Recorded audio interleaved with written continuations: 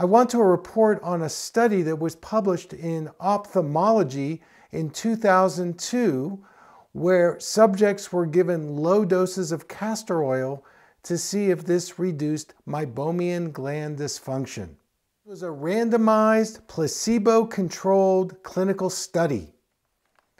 Researchers used 20 patients, 40 pairs of eyes.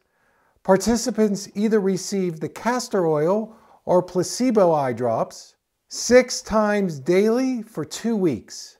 Tests used were tear breakup time, tear evaporation. Fluorescein and rose Bengal strips were used in the measurements. Tear breakup time and tear evaporation significantly improved compared to the placebo group, which showed no improvement. Conclusion is the results clearly showed that castor oil reduced meibomian gland dysfunction.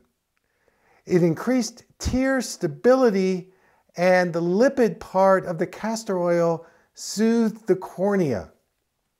Researchers wrote in the article that castor oil is an effective treatment for meibomian gland dysfunction.